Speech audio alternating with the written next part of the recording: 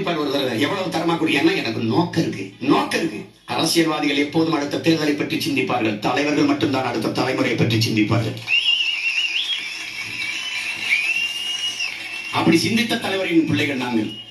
பெருந்தலைவர் காமராஜர் அவர்கள் படிக்கல. இந்த மானுட சமூகம் அதுக்கு மனநிலை எப்படி இருக்கும்னா எனக்கு கிடைக்காத எவனுக்கும் கிடைக்காதுன்னு கிடைக்கக்கூடாதுன்னு நினைப்பாங்க. ஆனா அவர் எனக்கு கிடைக்காத கல்வி என் நாட்டு பிள்ளைகளுக்கு தேசத்தின் பிஞ்சுகளுக்கு கிடைக்க வேண்டும் என்று முதலிங்க ராஜாஜி அவர்கள் பணமில்லை என்று மூடிய ஆறாயிரம் பள்ளிக்கூடங்களையும் திறந்து மேற்கொண்டு பதினாறாயிரம் பள்ளிக்கூடங்களை திறந்து படிக்க வைத்தார். இவர்கள் தெருவுக்கு ரெண்டு டாஸ்மார்க்கை திறந்து குடிக்க வைத்தார். கொடுமை அவருக்கு தொலைநோக்கு இருந்தது. தன் பேசத்தின் பிள்ளைகளை எப்படியா படிக்க வச்சுன்னு ஐயா வெற்றி கொண்டான்னு சொல்றாங்க. ஐயா காமராஜா பள்ளிக்கூடத்தை கட்டிட்டாரு. நாங்க படிக்க போகல விளையாடிட்டு இருந்தோம்.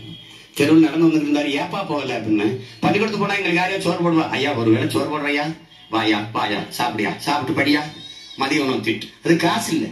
அதிகாரிகள் சொல்றாங்க அவ்வளவு நிதி வளமை இல்லைன்னு. ஏ இருக்கிறவரை போடுங்க. பசியா இருக்கிற பிள்ளைக்கு படம் நடத்தின மண்டையில ஏறுமா?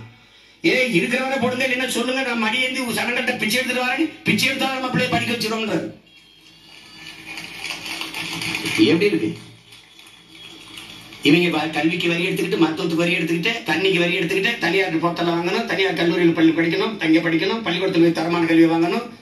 மருத்துவத்துக்கு வரி பணக்காரனா இருந்தா அப்பளோ எம்ஜி ராமச்சந்திரா காவேரியில் படுத்து உயிர் உழைச்சி வரலாம். இல்லைன்னா பாடையை கட்டி நேரம் சுடுகாட்டுக்கு போகலாம்.